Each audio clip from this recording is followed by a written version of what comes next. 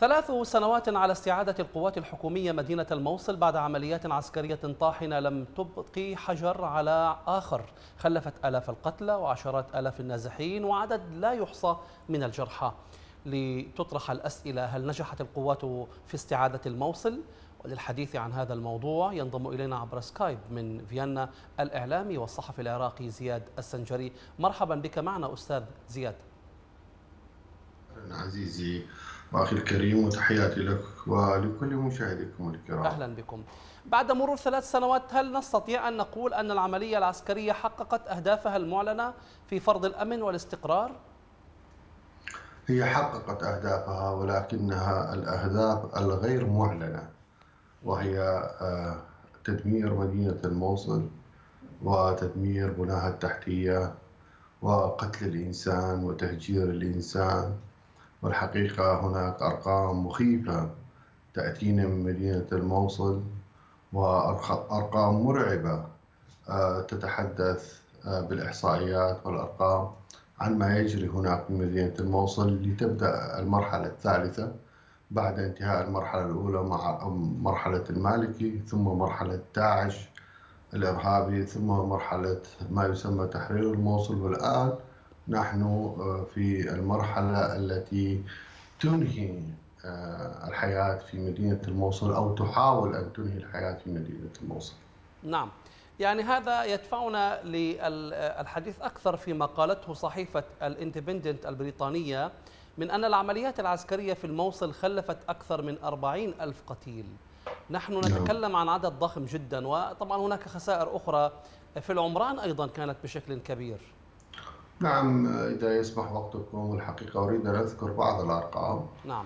وأريد أن أقول بأن أربعين ألف قتيل هم شهداء مدينة الموصل وهناك المفقودين أيضا ولا زالت الجثث آه، ترزح تحت ركام وأطلال المدينة القديمة بعد أن قصفتها آه، الطائرات الأمريكية والصواريخ الإيرانية التي تزن أطنان وشاهدنا بأم العين استخدام الأسلحة المحرمة في بيوت قديمة متهالكة الحقيقة العمليات العسكرية أودت إلى تدمير كل جسور المدينة التي تم إنشائها قبل احتلال العراق ولم تستطع الحكومات المتعاقبة إنشاء جسر واحد. تدمير تسع مستشفيات من أصل عشرة والوحيدة التي نجت من الحرب هي كانت قيد الإنشاء. نعم. تدمير 900 مدرسة وهذا عدد كبير جدا وهو استهداف للتعليم. تدمير عدد كبير من الجوامع والكنائس. تدمير 67 أو 68 مستوصف صحي. نتحدث آه، الحقيقة عن أرقام كبيرة مليون نازح. الآن لدينا لحد هذه اللحظة حوالي 300 ألف نازح موزعين في داخل العراق. هناك خارج العراق.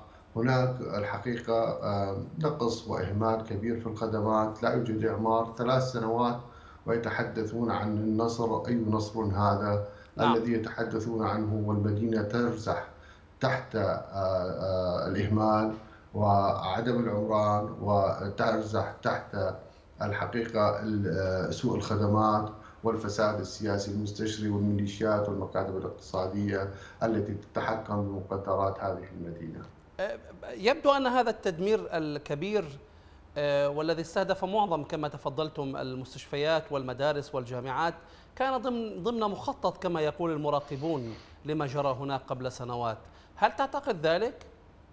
لا أعتقد ولكني متأكد من ذلك. الموصل هي آه، بيضة القبان في العراق وهي حلقة مهمة ورئيسية في التوازن العراقي. وعندما تضرب الموصل يضرب رأس العراق. وفكر العراق وقادة العراق وأبطال العراق وعلماء العراق. لذلك كتب على العراق بالمناسبة كل المدن العراقية تعاني من ذلك الأمر ولكن مدينة الموصل كانت الضربات قاسية والتدمير البنى تحتي قاسي واستهداف الإنسان العراقي قاسي. كون المدينة الموصل لها وزنها وتاريخها وثقلها ليس فقط في العراق وإنما حتى في الشرق الأوسط ككل. كون هذه المدينة في سكانها ومساحتها تعادل بعض الدول العربية والإقليمية. الحقيقة هذه المدينة لها مكانة خاصة عبر التاريخ ولذلك كان الحقد الإيراني حقد دفين.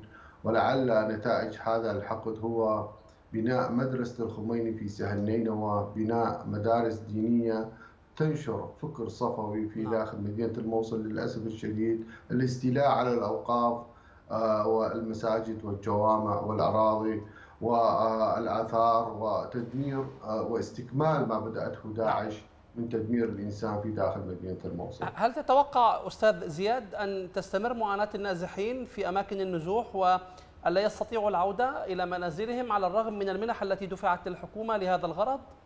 الحقيقة اليوم كنت في اتصال مع أهلنا في مدينة الموصل حتى المنظمات العالمية التي حاولت تغيير الواقع الحقيقة استسلمت مؤخرا للمكاتب الاقتصادية واستسلمت لعمليات الفساد التي تجري الآن في مدينة الموصل. لا أتوقع عودة النازحين. رغم أني أتمنى أن لا يبقى نازح ومهجر ومن ضمنهم المتكلم إلا وقد عاد إلى بيته وأهله ومدينته ليعيش بسلام. ولكن الأمر الحقيقة ليس بالتمنيات وإنما واقع الحال يقول بأن إيران لا تريد عودة أبناء مدينة الموصل مثلما لا تريد عودة أبناء جرف الصخر نعم. وغيرها من المناطق والقرى والنواحي التي دمرتها الماكينة الإيرانية والميليشيات والفصائل والعصابات والمافيات التابعة لها أشكرك جزيلا أستاذ زياد السنجري الإعلامي والصحفي العراقي كنت معنا عبر سكايب من فيينا